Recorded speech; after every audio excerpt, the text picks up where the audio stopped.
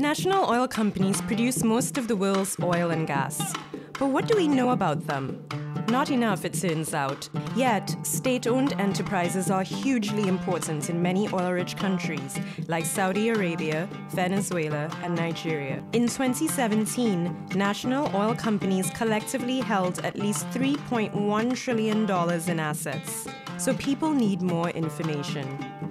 The financial well being of many countries and their ability to use oil revenues to pay for things like healthcare and education depend heavily on how well the state company is governed.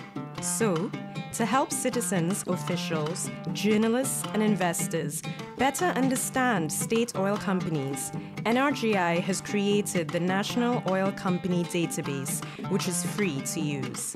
For the first time ever, it brings together information from 71 enterprises on production, revenues, spending, and transfers to government.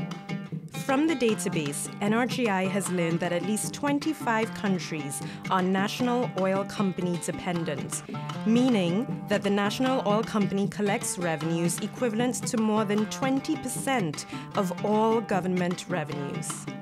Also, many national oil companies carry big debts, sometimes as much as 5 or even 10% of their country's GDP.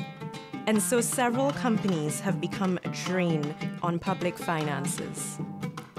To learn more about NRGI's findings and recommendations and start using the database yourself, head to nationaloilcompanydata.org.